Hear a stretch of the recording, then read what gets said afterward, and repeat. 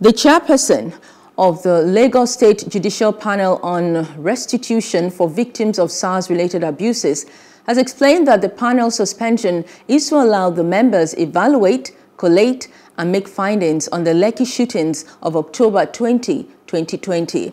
Retired Justice Doris Okuwobi announced the break after the panel sitting on Saturday. It was set up a week after the Lekki shootings to investigate cases of police brutality, especially involving officers of the former Special Anti-Robbery Squad, SARS. It was also to determine whether protesters were killed at the Lekki Tollgate Plaza during last year's EndSARS protests.